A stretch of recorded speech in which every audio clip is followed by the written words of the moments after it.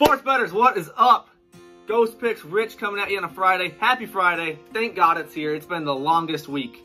Um, what are you guys getting into this weekend? Who are you betting on? Who do you got the most money on this weekend? Drop a comment below. Hit the like button. Throw a shout out for Ghost Picks. Uh, let's get into the NHL divisions real quick.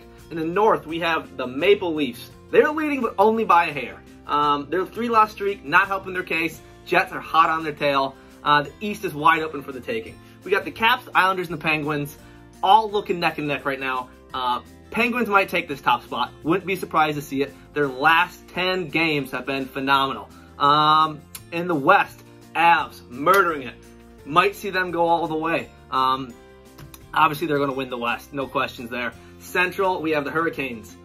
Overrated, wishy-washy team. Wouldn't be surprised to see them get bumped down a spot or two. Uh, let's get in the free play today. We have Wild vs. Sharks today. Like I said, uh, Friday morning. Sorry I'm coming at you this late. Life gets a little hectic sometimes.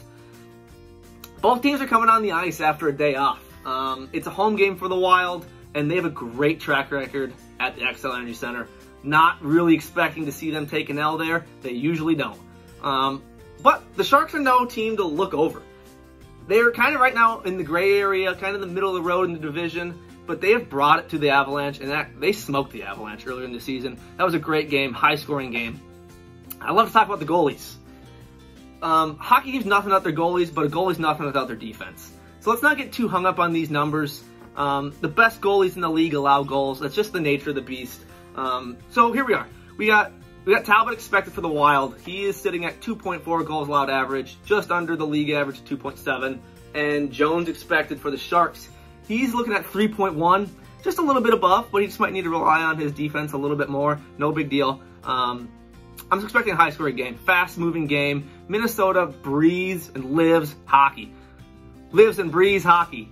Um, bottom line, Minnesota Wild can put the puck in the back of the net. Uh, they've been doing incredible lately. Uh, they're a high scoring team and they can move the puck really well. Like I said, home game for the Wild. Sharks are on a three game losing streak.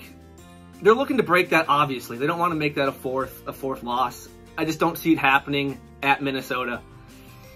So the line has not changed a whole lot for me to be unsure of myself or uncomfortable with this pick. We're to go over five and a half. That's your pick of the day. That is the winner.